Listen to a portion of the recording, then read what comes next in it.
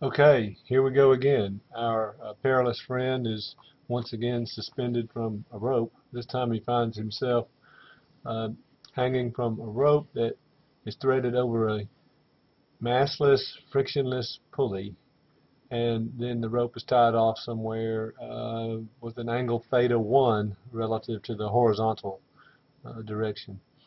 So there are a couple of questions here. First is what are the relative magnitudes of the tension uh, in the left rope that is where the monkey's holding and in the right rope, the one that's tied to the ground. So if, if this is uh, T2 on the left and this is T1 on the right, uh, what what what relation is there between those uh, tensions? And then the second question is, uh, if the monkey's hanging there, um, what are the components of the X and Y um, forces in the in the rope? Uh, so, in, in the components of uh, T1. So as before, to answer this question, uh, we would want to isolate or separate the, the, area of action from the universe, from the rest of the world. And in so doing, we reveal uh, what's going on inside, if you will, these ropes. Uh, once we cut through the rope, we'll see the tension in the rope revealed. And uh, we can show that in our, our free body diagram. So maybe, uh, so uh, the first question there said, uh, well, what's the relationship between T1 and T2?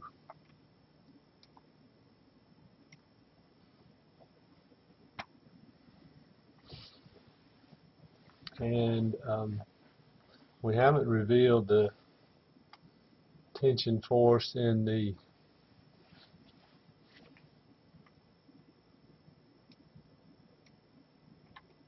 in the pulley at all.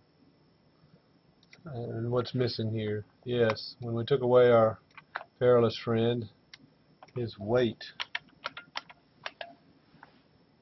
now acts on this rope.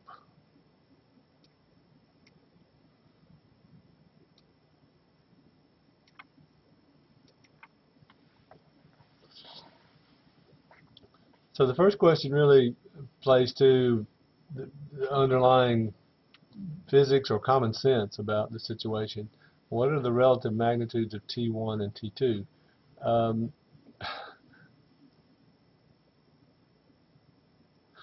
the tension in the rope on the, the left has to be equal to the tension in the rope on the right uh, because if it's not um, then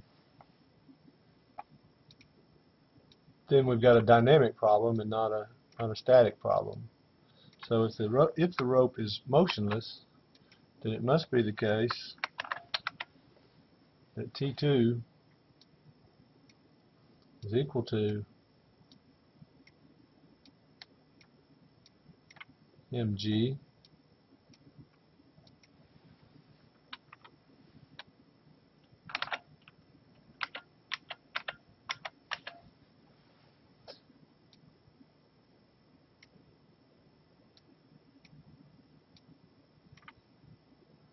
And again, in order for everything to be stationary at rest, um, T2 has to equal T1. So the answer to this first question is that, that T1 and T2 uh, have the have the same value, and in fact, uh, as is shown here, uh, the tension in that rope would be equal to um, the, the weight, since since there's no motion. So the answer here is T1 has to equal to T2 which is uh, from our free body diagram is equal to the weight uh, of the monkey. So that's the answer to part one.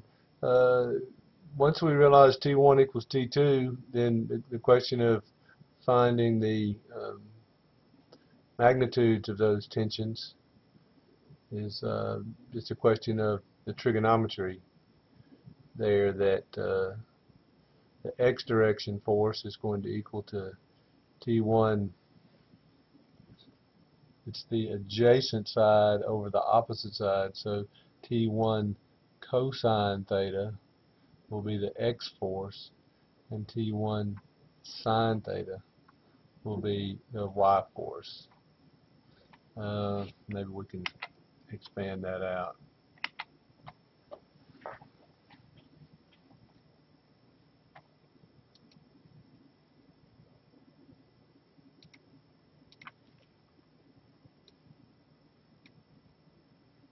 And what we need to do is decompose that force into its two components.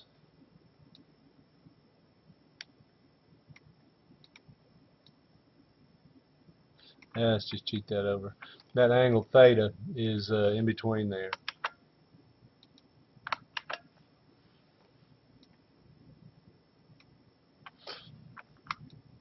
So down here we have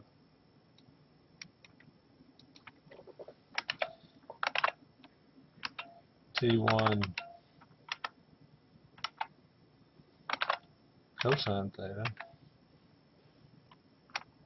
because it's the adjacent side and T1 sine theta because it's the opposite side.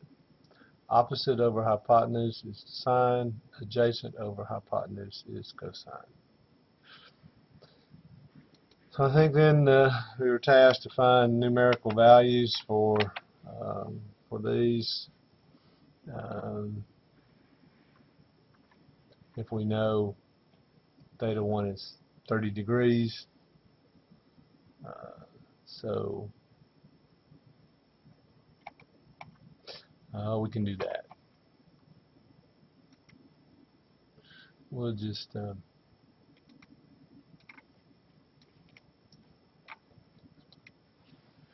so um,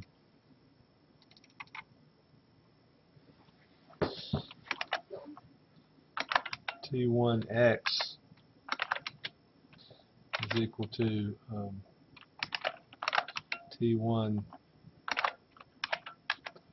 cosine theta.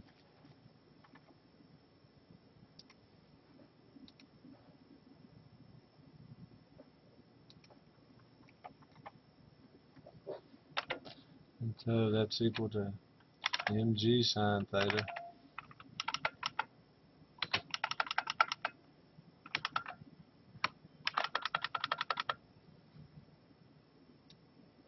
cosine theta.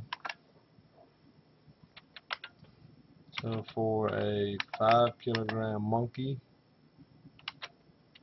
in a 9.81 meter per second squared acceleration field,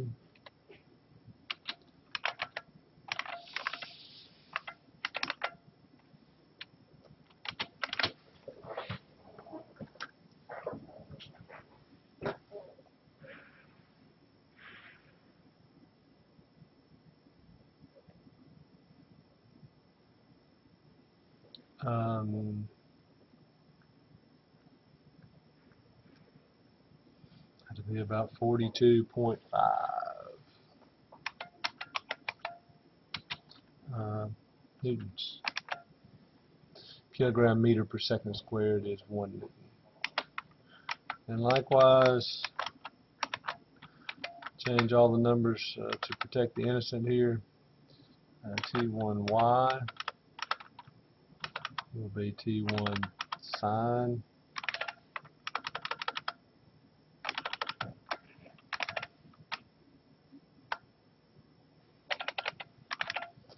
and that's going to be 0.5 times.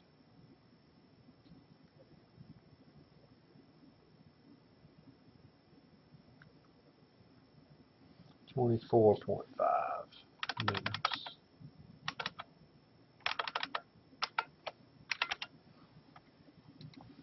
Okay, so once again, monkey saves the day.